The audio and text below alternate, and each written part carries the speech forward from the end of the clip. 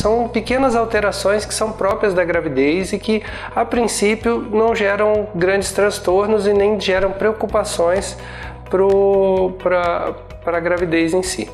Quais são elas? Há uma mudança natural da postura.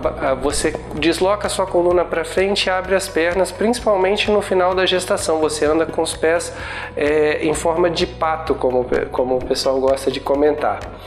Você tem uma tendência a aumentar o açúcar no sangue, por isso o risco de diabetes, por isso que a gente tem que tem que estar tá pesquisando, mesmo em quem não sente nada, quem não tem histórico. Existem umas modificações do coração, você tem uma tendência a ter alguns episódios de taquicardia, o coração acelerando, palpitação, né? Há uma tendência a desenvolvimento de anemia, por isso a necessidade de suplementação com vitaminas. Tá? É, modifica o, a resistência e a sensibilidade no aparelho urinário, facilitando, por exemplo, a infecção do trato urinário. É, a respiração. Há uma, há uma tendência, principalmente no, no final da gestação, pela própria compressão do útero sobre o, o diafragma, você tem uma tendência a ter é, episódios de falta de ar, de dificuldade para respirar, né, que podem ser posturais. Modifica o seu sistema digestivo, tendo tendência tanto a problemas como azia, como alterações no funcionamento do intestino. Tá? A pele modifica.